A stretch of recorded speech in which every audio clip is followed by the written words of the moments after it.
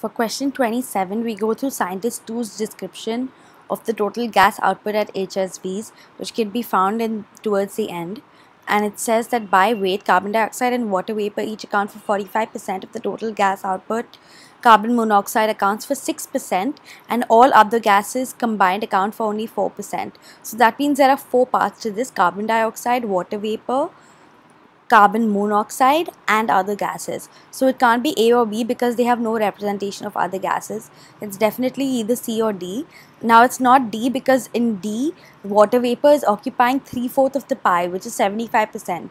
Whereas in C, water vapor and CO2 are occupying an equal percentage of the pie, which is about 45%, and carbon monoxide and other gases are also appropriately represented. So the answer is C.